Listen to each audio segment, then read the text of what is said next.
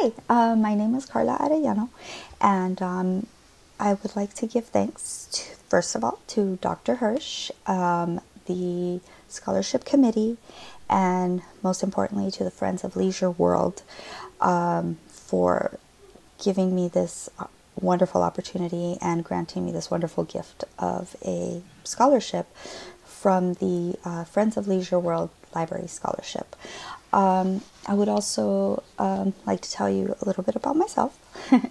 it's uh, my second year here at San Jose State, and I am in the Library Science, Masters of Library Science, and my my goal would be to become a public librarian um, with a concentration in youth services, so either a young adult or children's librarian.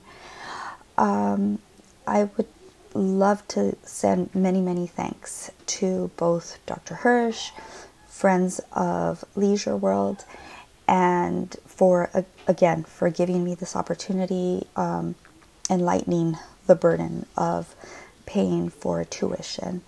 Um, thank you so much. I am very, very grateful, and I look forward to paying it forward in the future to other students that may be coming up. Thank you so much.